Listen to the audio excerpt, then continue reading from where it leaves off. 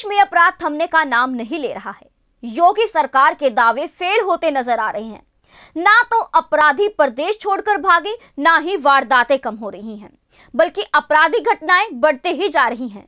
सोनभद्र के शक्तिनगर थाना क्षेत्र के कोहरोलिया गाँव में आपसी विवाद में युवक के रिश्ते के भाई ने ही उसे चाकू मार दिया। युवक को तत्काल शक्तिनगर से वाराणसी रेफर किया गया, लेकिन रास्ते में ही उसकी मौत हो गई। बताया जा रहा है कि देर रात कहरोलिया गाँव निवासी अजय उम्र 19 वर्ष को घर से कुछ युवक बुलाकर ले गए और सुबह वह अचेत अवस्था में पड़ा हुआ मिला। स्थानीय लोगों की सूचना पर परिजनों ने उसे शक्ति नगर के ही प्रयोजन अस्पताल में भर्ती करवाया, लेकिन हालत गंभीर होने पर डॉक्टरों ने उसे वाराणसी रेफर कर दिया। वाराणसी में ले जाते समय रास्ते में ही उसकी मौत हो गई। परिजनों का कहना है कि पड़ोस में रहने वाले युवक रमेश ने उसे चाकू से मारा है। पुलिस का कहना है कि इस मामले में मुकदमा दर्ज है। दो लोगों को हिरासत में ले लिया गया है। पुलिस आरोपियों पर सख्त कार्यवाही करेगी। सोनभद्र से संवाददाता पंकज सिंह की रिपोर्ट। हमारा सीता देवी नाम क्या हुआ है? कुछ नहीं हुआ है। वो लड़के हमारा थे जो घर आया था बुलाने लड़के को हमारे तो दोनों साथे बैठे थे। अब वो दोनों यहाँ से देखिए सर उठ गए।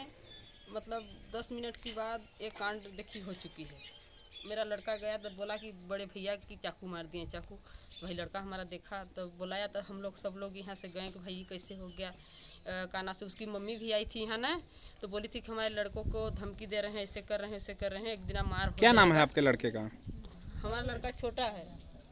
अच्छा। हम्म बड़ा नहीं है। तो जो जिसकी जिनकी मौत हुई क्या है आप वो वो आपके हमारे देवर का लड़का है बड़ा। बड़ी मम्मी है। बड़ी मम्मी है उसके।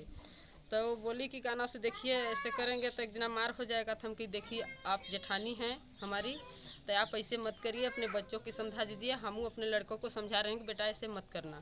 यही देखिए हाँ किसी के संग साथ में रखकर लड़ाई झगड़ा नहीं होना चाहिए। भाई लड़के लड़के हैं हो गया थोड़ा बहुत भाई अब मैं, मैं काना से गाल गलौज तो हो गया अब इससे से थोड़ी कोई दुश्मनी हो सकता है। वो हमारा सगी ममिया ससुराल का हमारे सास का काना से वो भाई भतीजा हैं सगी अपना एक एक बुआ है उसकी।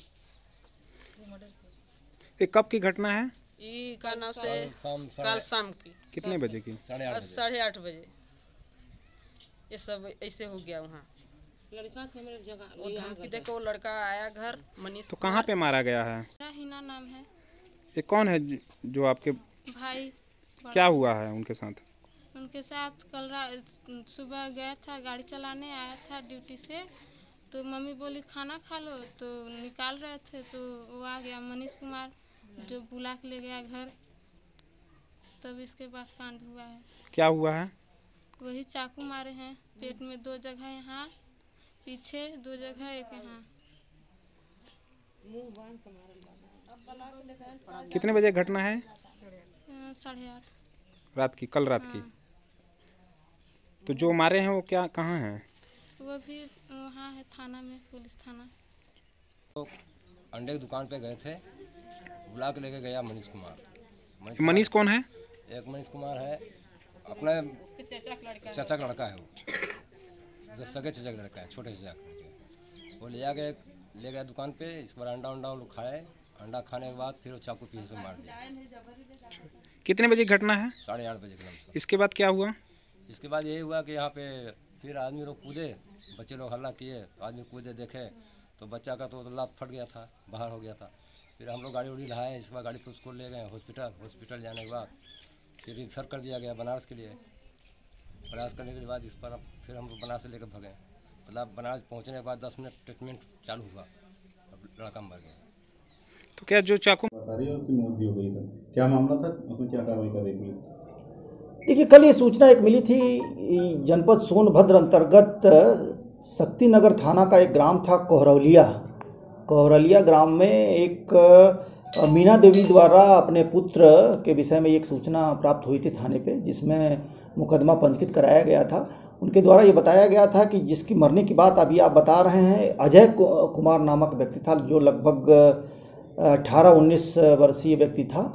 और इसके बगल के जो इसके पारिवारिक व्यक्ति जिनके खिलाफ इन लोगों ने कल एक तहरीर दी थी जिसपे 307 का अभियोग पंजीकृत कराया गया था। और इलाज के दौरान आज उसके मृत्यु होने की सूचना प्राप्त हुई है। इसका पंचायतनामा नियमानुसार भर करके पोस्टमार्टम के लिए बॉडी भेजी गई है। मौके पे हर स्थिति सामान्य है, कहीं कोई बात, विशेष बात नहीं। आईओ को, थाना प्रभारी को इसमें निर्देश दिए गए हैं। साक्ष्यों के आधार पर जल्दी से जल्दी गिरफ्तारी करके इसमें विवेचना का विधिक निस्तारण कराया जाएगा। JBD Banquets lie हैं incredible marriage palace Rajgharana and the finest banquet hall Jyoti Garden. World class catering, centrally air conditioned, lush green lawns, state of the art lighting. A perfect venue for wedding, launching and parties. Rajgharana and Jyoti Garden at JBD Banquets Enterprise. ऐसे ही latest खबरें पाने के लिए bell icon को click कर हमारे channel को like share and subscribe करें धन्यवाद।